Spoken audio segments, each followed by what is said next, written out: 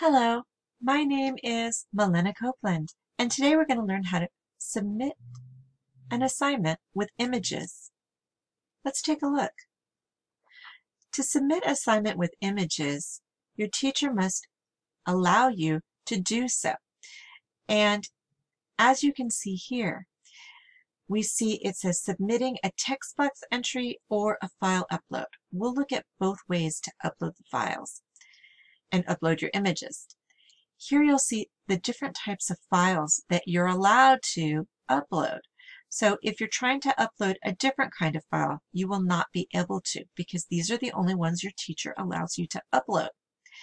Don't forget to always look at the due date, the points that you'll get for the assignment, and follow the directions of each assignment very carefully and answer every question listed. If you have any questions, you can ask the teacher. To start your submission, you'll click Submit Assignment. If you're going to do a file upload, you'll click Choose File. Choose the file that you want to upload. Click Open, and then click Submit Assignment. You can add more than one file by clicking Add another file. Click again, Choose File, choose the next picture that you would like to add. Let's see, we'll add a picture of me on horseback. And then click Submit Assignment. When you have submitted your assignment, you will see it says Submitted in the top right-hand corner along with the date and the time of your submission. You can resubmit the assignment by clicking resubmit. By the way, you can also open up these files here to make sure you uploaded the correct files, but you can't erase them. So what, be careful because whatever you upload, your teacher will see. Some teachers allow you to do multiple submissions. If so, you can add another file that way. You can also upload an image using the text entry feature. The way that you do that is by typing in your assignment, like, this is my dog.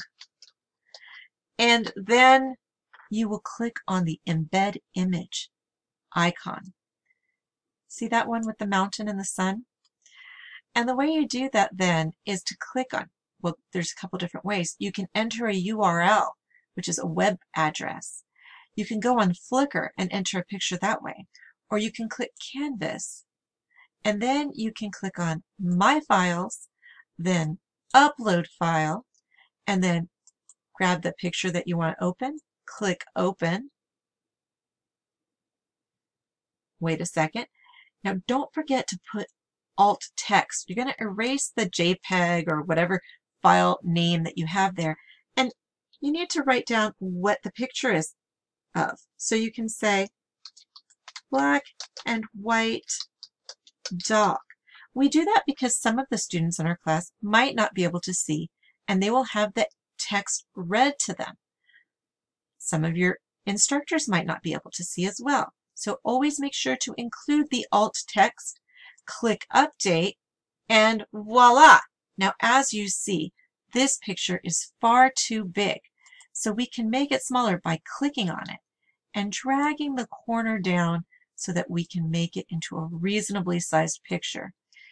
And sometimes when you have text, it's best to press enter so the text goes below instead of to the right or to the left of the text. So by just by clicking on um, the image, then clicking the right arrow that moves the, the cursor one to the right, then you can press enter to continue typing on the on the line below so that if you type here you can you don't have the text right next to it. Okay, whoops. This picture was taken in my garden. Okay, you want that on the line below. So you can you can click right next to the T, between the T and the picture, and press enter, and it will go down to the next line. Then just click submit assignment when you're done. And once again, you'll see that your assignment has been submitted in the top right hand corner. Thank you and good luck.